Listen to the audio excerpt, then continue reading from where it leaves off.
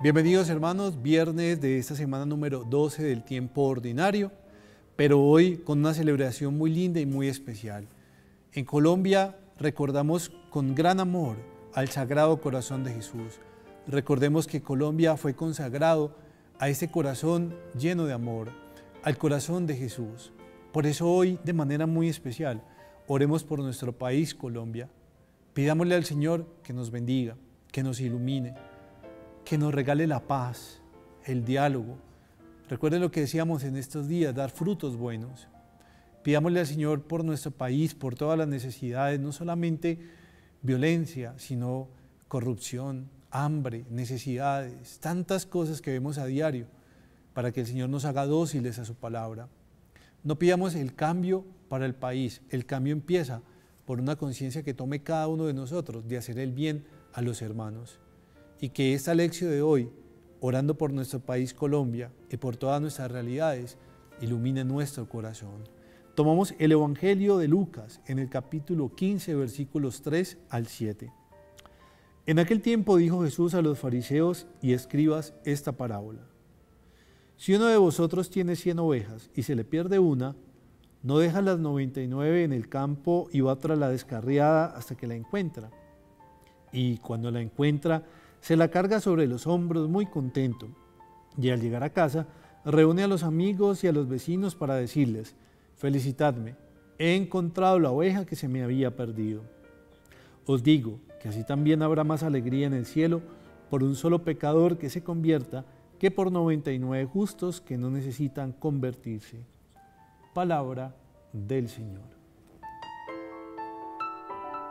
Oh Dios, fuerza de los que en ti esperan Escucha nuestras súplicas, y pues el hombre es frágil y sin ti nada puede. Concédenos la ayuda de tu gracia para guardar tus mandamientos y agradarte con nuestras acciones y deseos. Por nuestro Señor.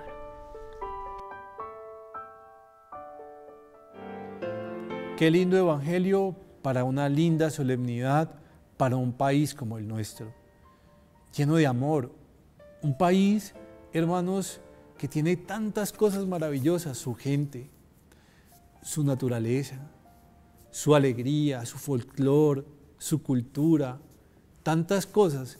Hermanos, qué alegría saber que el Señor tiene su mirada puesta en nosotros. Qué rico, hermanos, cuando Jesús le habla a uno a través de la parábola del buen pastor.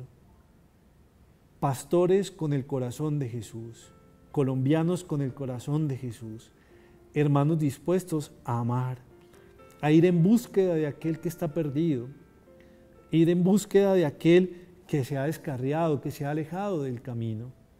Yo quiero hacer una invitación a cada uno de ustedes que nos está viendo, y no solamente aquí en Colombia, sino en tantos lugares del mundo. Vamos a ir a recoger a aquellos que están hoy perdidos. Vamos a ir a recuperar a aquellos que se han perdido en el camino, que se han descarriado. Vamos a salir al encuentro del hermano necesitado, del que se equivoca. Vamos a corregirlo con amor. Vamos a compartir amor. Es la fiesta del sagrado corazón. Es tan sagrado el corazón que si el corazón no funciona, perdemos la vida. Y esto es, hermanos, importante que lo tengamos presente. ¿Cuál es el campo? Nuestro país, sus países, su familia, su hogar, su lugar de trabajo. ¿Quiénes están descarriados? No sabemos, eso lo sabe cada uno. Ayudemos. Cuando dice el Señor, reúne a los amigos cuando encuentra la oveja y les dice, felicítenme. ¿Por qué? Porque he encontrado la oveja que se me había perdido. Qué rico que usted volviera a encontrar el amor en su familia. Qué rico que usted hoy encuentre la paz en su enfermedad.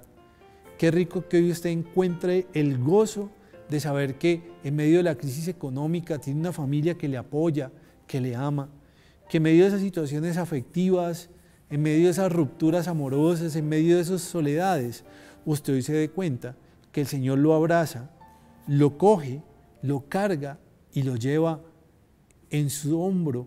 ¿Para qué? Para que usted sienta amor. Qué bonito cuando el Señor dice, no deja las 99 en el campo y va tras la descarriada hasta que la encuentra. Y cuando la encuentra se la carga sobre los hombros, muy contento. Hoy, hermanos, qué rico que todos los que nos sentimos que nos hemos descarriado, que nos hemos eh, cambiado de camino, que nos hemos perdido, hoy el Señor nos está encontrando. Hoy el Señor nos está cargando y nos está poniendo en sus hombros. Él está feliz de encontrarnos a través de esta lección divina. Por eso la campaña de uno más no es una invitación comercial ni nada de eso. Muchas personas piensan que es así, no. Esta palabra puede transformar vidas. ¿Qué es lo que queremos? Que llegues a el corazón. Por eso aquí no hacemos ningún tipo de pauta comercial dentro de la lección. ¿Por qué? Porque lo único que queremos hacer es que el amor de Dios toque el corazón de otros. Que usted esta mañana que vio la lección o ahorita en la tarde o en la noche, a la hora que sea, usted se sienta encontrado o encontrada por el amor de Jesús, se sienta levantado de su dolor, de su tristeza y llevado en los hombros de aquel que nos ama.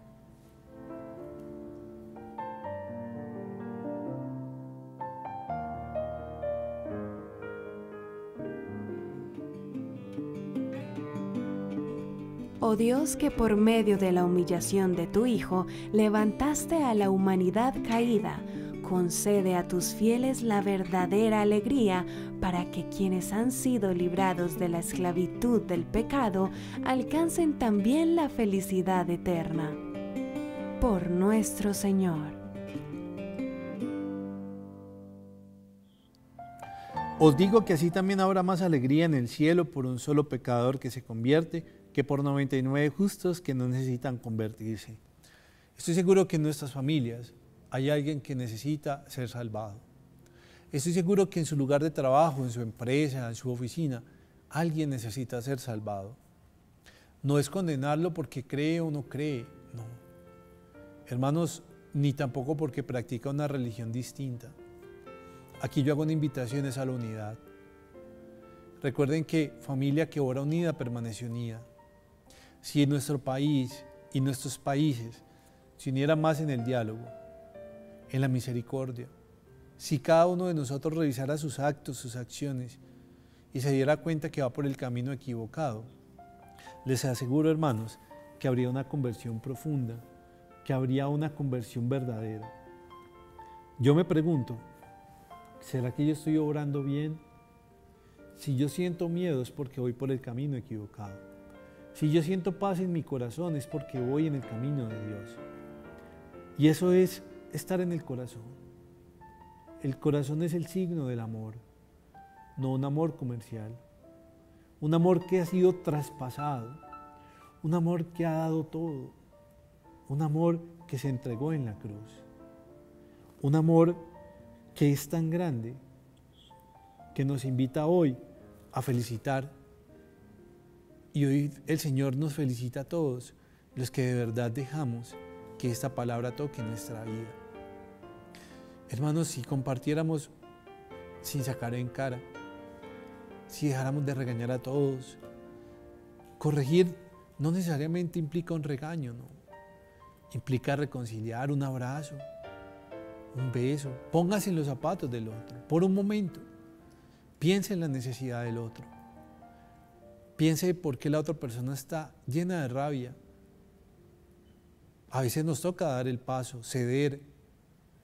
Es que si nos igualamos en orgullo, nunca vamos a conciliar.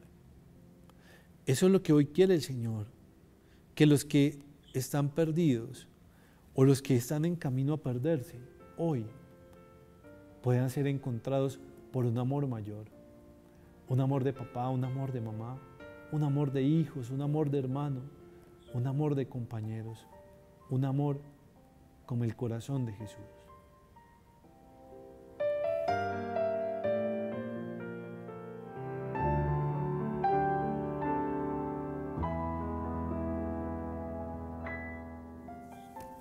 Bueno, un saludo muy especial para Norma Jiménez Pérez.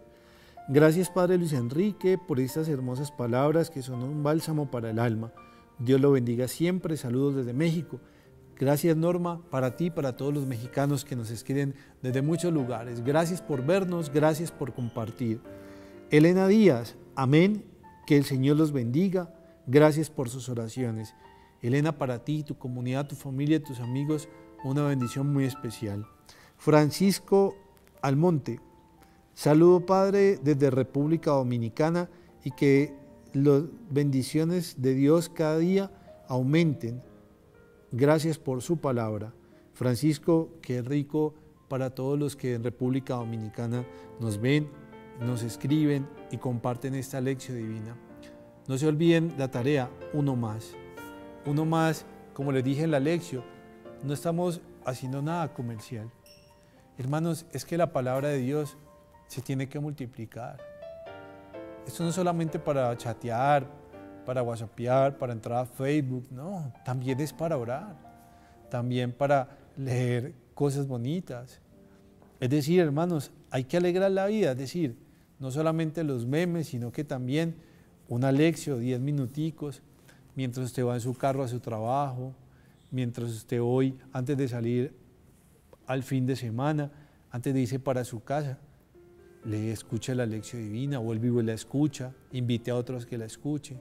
Son 10, 12 minuticos donde lo único que queremos es sentir el amor de Jesús, compartir el amor de Jesús, predicar ese amor de Jesús y hoy más en esta solemnidad del Sagrado Corazón, que el corazón nuestro sea sagrado como el de Jesús y yo los quiero bendecir con la fuerza del amor, la fuerza del Espíritu Santo, en el nombre del Padre, del Hijo, del Espíritu Santo. Amén.